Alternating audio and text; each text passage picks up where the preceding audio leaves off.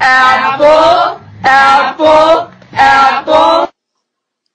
Iguana. Una iguana muy enojada.